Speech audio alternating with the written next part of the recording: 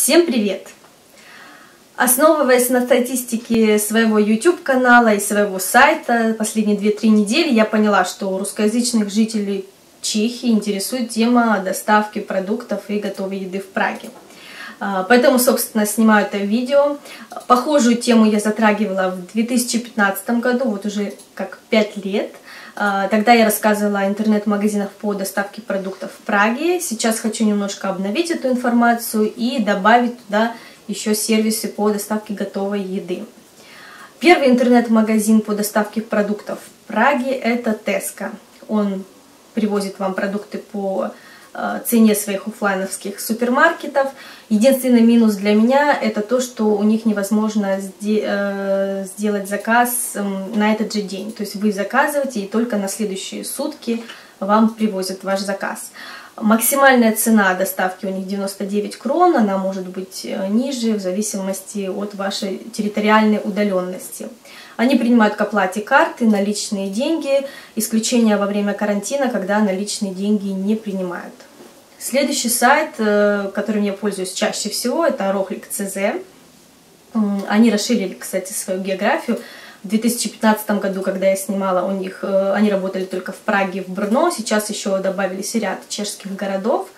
Э, это приятно, значит, они расширяются, значит, все у них хорошо. Так вот, у них минимальная сумма заказа 500 крон. Если вы заказываете на сумму 1200 и больше, то тогда доставка будет для вас бесплатной. Принимают к оплате тоже карты, наличные, исключение карантин, когда наличные не принимают. И следующий сайт это кошек ЦЗ. Они также расширили свою географию, у них еще больше городов чешских, э, чем у Рохлика.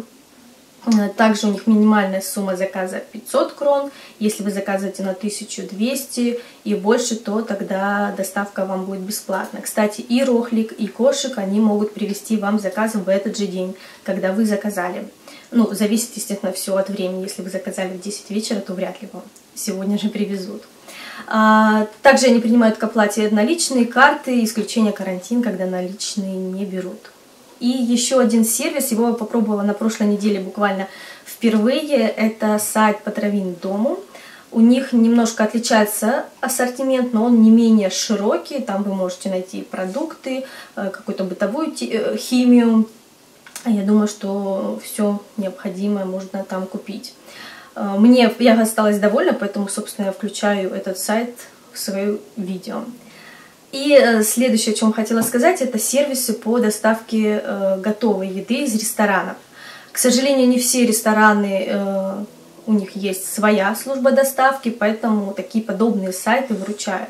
Я пользуюсь сайтом Дамы Идла, они уже, наверное, на, рын на этом рынке лет 7 в Праге, 6-7, около того.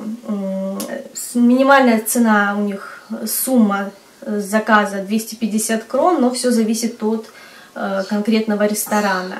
Также цена э, может быть разная, цена за доставку саму, но по моим наблюдениям, если ресторан находится от вас где-то в километре, то тогда доставка будет э, бесплатная.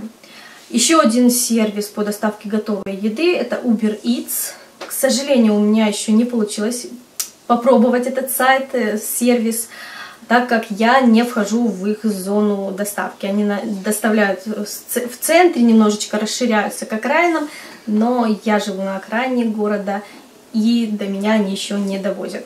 Также и сайт Volt, который около трех лет на этом рынке по доставке готовой еды из ресторанов – к сожалению, да, они тоже расширяются. Когда-то они были только-только в центре, вот недавно они расширились уже все ближе-ближе к окраинам города, но я еще все еще не вхожу в их территорию доставки. Жду, жду, хочу попробовать. Я люблю тестить такие сервисы. А, мне было бы интересно узнать ваше мнение, какие сервисы вы используете, не обязательно из тех, э, что я перечислила в Праге, какой у вас был с ними опыт, хороший, плохой. Я думаю, что это будет полезно тем, кто сомневается, кто не знает, что выбрать. Э, напишите, пожалуйста, свой опыт, э, какими сервисами вы пользуетесь в комментариях. Не забывайте ставить пальчик вверх. И всем здоровья и всем пока!